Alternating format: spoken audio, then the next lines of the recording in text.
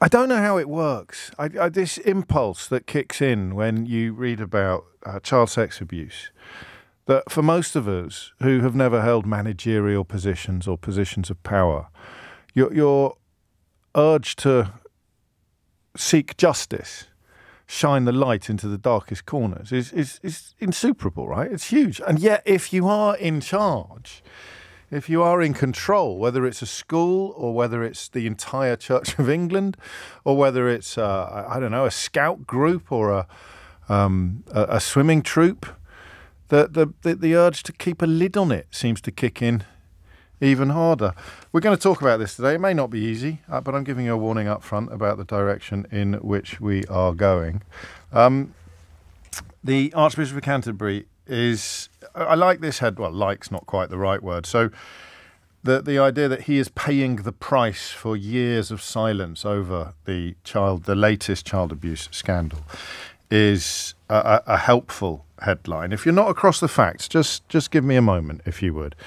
And, and I think this is important. I, I, know the Church of England is not the force it was, but it remains a crucial pillar of our society, uh, or if you prefer a slightly more nuanced word, it remains a crucial pillar of our establishment. There is no suggestion whatsoever that Justin Welby himself has behaved in um, uh, criminal or, or, or, or immoral. Well, immoral is a tough one, isn't it? Fashion but he stands accused of having failed to act when made aware of disgusting behaviour by a member of the church. It is, make no mistake, the, uh, uh, the the story of the church's most prolific child abuser and a story of how he was never brought to justice.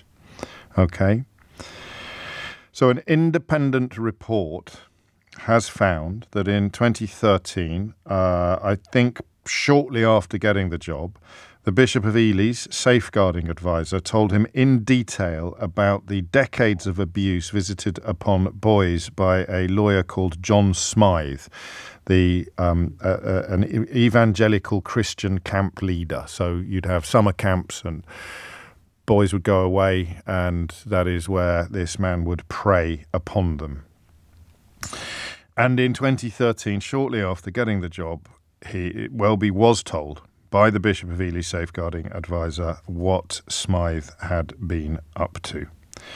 Reviewers um, of the Makin report, which is what the independent report is called, have used the word unlikely to describe the Archbishop's insistence that he had, quotes, no awareness or suspicion of the abuse prior to 2013. Uh, the, the, the report itself concludes on the balance of probabilities, it is the opinion of the reviewers of the report that it was unlikely that Justin Welby would have had no knowledge of the concerns regarding John Smyth in the 1980s in the UK. Now, I, were I a, a, a lawyer, which I am categorically not, I would point out that the insistence that you had no awareness or suspicion of abuse is not the same as the claim that you had no knowledge of concerns, but it's close enough. Uh, semantics matter in these moments, oddly, because you can apologize without apologizing. How many times have we examined the rhetoric of people who say, I'm sorry, but, or I'm sorry if? It's not really an apology if you're only sorry but or sorry if. I'm sorry if I've caused offence. I'm not sorry for causing a, a, a, offence. And it, it, it, with the very real possibility that this story might develop while we're live on air. Uh, in in other t- in other words, it may well be that Lambeth Palace make an announcement in the coming hours or, or in the coming minutes, um, and and so I don't feel qualified fully qualified to comment or to invite you to comment on whether he should stay or whether he should go. I, I think he should probably go, but I don't know the contents of his soul, to use a, a religious uh, term, and therefore I don't know whether there is much clear blue water between claiming no knowledge or no suspicion of abuse and no knowledge of concerns. They're not the same thing. But here, here is the point. Brian puts it very well. Brian puts it very well indeed. Um, Welby is another victim of yet another institution that puts reputational damage limitation over the moral imperative. Another example, um, uh, uh, uh, like the Met, like the Metropolitan Police being shown up as bereft of the ability to challenge establishment institutions. Um, that's not fair on this occasion. The Met might fit the description that you describe in, in other in other areas, but the accusation being levelled at Welby is that he didn't refer it to the police, and if he had done, then he would have been brought to justice. He died um, uh, uh, overseas before justice had been done, or even had been seen to be done. This man, John Smythe or John Smith, it's spelt with a Y. A couple, uh, one of one of you telling me to pronounce it as Smith, but I've heard everyone else pronouncing it as Smythe all morning. Um, I have some horrible insights into this, into this notion of institutional.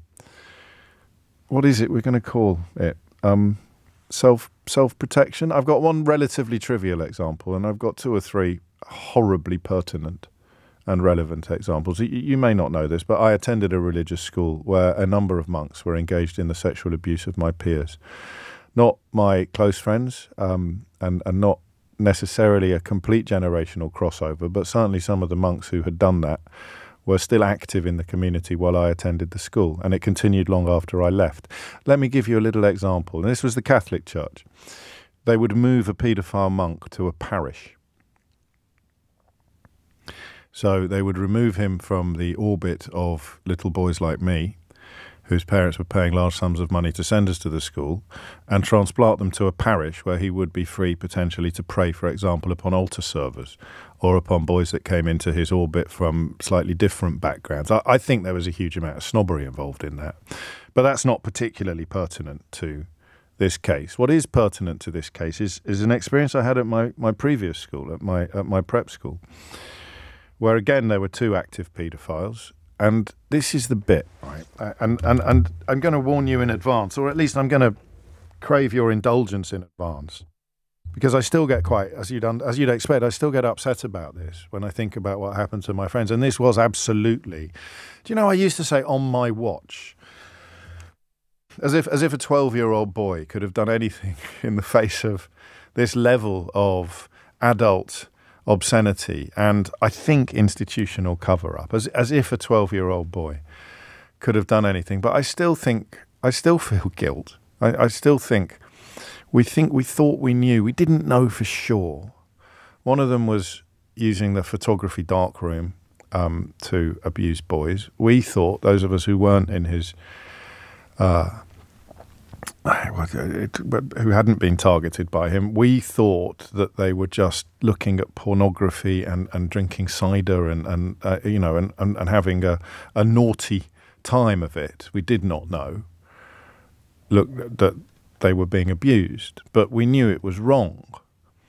Um, and we knew who it was, we knew where it happened, we had a fair idea which boys were involved, and and I, and they couldn't talk to us about it because of the usual threats and what have you that had been deployed in that context, and you know the threats made to the to the victims.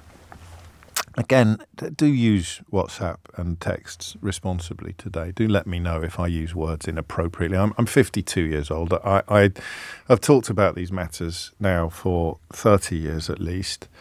25 years at least. God, I told you about when I got the phone call, didn't I? God, that was a moment. I was walking over Westminster Bridge. I don't know why. My dad wasn't long dead. So we're going back 12 years or so. My phone, I answer my phone. It's an un, uh, an unrecognised number, and a, a, a, woman introduces herself as being from West Midlands Police. Kid- Kidderminster Police Station, in fact, where I had a couple of uh, unpleasant experiences that we'll save for a different day. And I start, you know what you do. You, you, you happily, I, I didn't think, oh my God, what have I been caught doing, which I might have thought 10, 20 years previously. But I, I, I went through in my head what she might be ringing me about.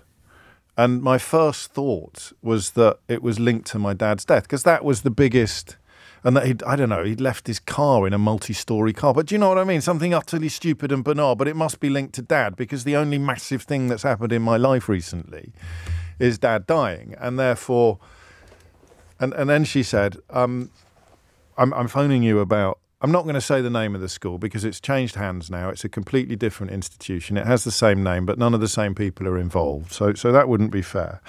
Um, I, I, I, I'm, I'm phoning you about so and so school, you've probably been waiting for this phone call for years. And I had to stop on the on the bridge. And I thought and I thought, God, yeah. And I said, Is it about Mr. O'Brien? Bizarrely, he had the same he had the same name as me. Just a quick word to the lawyers. He, he, was sent to jail. Don't worry. There's no danger here of um, of defamation or, or even similar. And I said, "Is it about him?" And she said, "Yes." And and also another teacher. And and she said a boy had come into the police station decades later, just walked into the police station, partly as a consequence of the uh, atmosphere that changed briefly with regard to child sexual abuse in this country in the aftermath of Jimmy Savile and other very, very high profile famous offenders, and the reporting, I think in part some of the reporting that Andrew Norfolk did with regard to grooming gangs and girls not being believed when they came forward. And there was a brief window when victims were told they would be believed and that if they came forward, um, the uh, uh wheels of justice would work in their favour. And tragically, one of the main reasons why that window shut again was because one of the cases that became a sort of cause célèbre for believing victims, for believing accusers, the accuser turned out not to be telling the truth. a, a, a, man who was known as Nick when his accusations were being made, and later turned out to be um, a paedophile himself called Carl Beech and the Operation Midland officers who described his allegations as credible and true. Um, uh, contributed to a, an, an, opportunity for people to shut down that window. And and you know there are good reasons, I guess, for it. People who are falsely accused at a very high profile have unimaginable horrors to endure. But that moment was the kind of moment in which this boy could walk into a police station and think, you know what, I'm going to tell the truth about what happened to me 30 years ago because I I think that it might actually achieve something for the first time in my life. I think it might actually achieve something. And they went absolutely great guns. It was extraordinary. They contacted everybody. The first question she asked me, of course, was whether or not I had been abused. And and at that moment, I thought, God, how would how, I mean? Imagine how those lads feel today. I just had to stop and, and lean against the um, uh, the, the, the, the, barrier on the side of the bridge, I, I felt my, my legs go a bit funny because this is something that we've all carried. But all I carried was knowledge and, and a little bit of Catholic guilt about the ludicrous notion that I, as a 12 year old, could have done, could have done more. But adults are involved in all of these stories. Adults who were not abusers are involved in all of these stories the first thing we say when we get together, and it's a pretty scant silver lining, and there are obviously places we don't go to and questions we don't ask each other. But we've we've re-established contact partly through social media and, and, and latterly partly in person. Some of the boys went back for a visit to the school, which I couldn't make. It was your fault actually. I couldn't get the time off work. Um, and you you the first thing we ask each other is they must have known. Other teachers, other adults must have known. There was a teacher who left. He was really popular. And no one could understand why he left. And I look back and I think to myself, I think you knew. And I think you couldn't countenance staying. I don't know whether you had spoken to anybody senior, anybody in authority at the school, and been unsatisfied with the response that you received but you didn't go to the police. Nobody did. It was normal, uh, if that's an appropriate word to use in this context. It was commonplace for people to know. And listen, if you're my age and you're struggling with this from a position of skepticism or cynicism, it's quite helpful to remember nicknames. Like boarding schools are hideous places when these kind of characters have found uh, a, a, role within them, have found a home within them. But it's by, this wasn't a boarding school story, the Welby one, but it was residential. It was when they were on residential camps that it would happen. But the access to children can be through sport, of course, football stories, from few, all those stories that came out in that little window of treating accusers as honest, believing their allegations before it was slammed shut again in the aftermath of Operation Midland. All of those scandals that, that were really gathering pace, and almost all of which were not built on lies and false allegations. Uh, they all spoke to access, quite often residential. Boys would stay over at the home of a football coach. And you, you look at what other adults knew and you know that they looked away. And the, the reason I mention cynicism and skepticism and nicknames is because all environments had nicknames. Every generation of children had a, a teacher who was known as, you know, Pervy Perkins or, or, or, or Dodgy Dave. Every school, right? It's not every school. Everywhere where adults had access to children, there was someone who had a reputation, um, which was commonplace, is a better word than normal. And and I think it's twelve year old me that wants to ask today's question. We, we, we will watch and wait to see what happens to Justin Welby, who I have met and by whom I was deeply impressed. I wasn't across the detail of this story when I met him, and full disclosure generally is not a, an interview environment in which we hold people's feet to the fire. But he, he, he was he's the first man in 20 years who's made well, the first man since Dad died 12 years ago who's made me think deeply about God. Actually, uh, for whatever that's worth, uh, and I appreciate it won't be worth much to you, possibly. Hansy Harold, Dan says everyone's got one. Everyone's got one. Um, I don't know why the adults don't do anything. I don't know why the grown ups don't blow the whistle. I still don't. I didn't then and I don't now. Why don't the grown ups do more in these situations? And I don't want I don't want a catalogue of condemnation because I don't think that would be helpful. I think if a 12 year old boy can carry a sense of guilt that he didn't do more, what the hell does an adult carry? An adult who didn't do more. Why don't the grown ups do more? I didn't come across, and the, the, other story I had, sorry, I know this is long, but it's quite important. The other story I had was of a completely different order and not in any way comparable, but it speaks to institutional protection. Um, when me and my mates got thrown out of that school where monks were routinely abusing children for the appalling crime of smoking cannabis, uh, the speed with which the school authorities sought to absolve themselves of any responsibility, to claim that we'd been exposed to bad influences outside the school, to claim that it had absolutely nothing to do with the school. Now, I was growing up on a farm in Worcestershire. There was no earthly way I could have accessed the kind of uh, uh, uh, individuals that we accessed on our weekends over the wall in the city of York. But the school moved so quickly to tell all the other parents that, that we were the problem to impute that our parents had been negligent or lax, to, t- to wash their hands of all responsibility, even as they were complicit in the cover up of epic child sex abuse. Incredible, right? When you think about it. But I still don't know. I, I, I, can I can see him now. There was one moment, and I can't tell you about this because it's already 22 minutes after 10, but there was one moment where I came perilously close to blowing the lid off the whole thing by accident and and I think at that moment. I thought of it a lot when these stories started breaking. Um, why don't the adults do anything? Is it the same reason I didn't? 0345 6060973 is the number you need. Why don't the adults do anything? Justin Welby told in 2013 about Smyth. He claims that prior to that he had no awareness or suspicion. But subsequent to that, he did, and he did nothing. Why don't they do anything?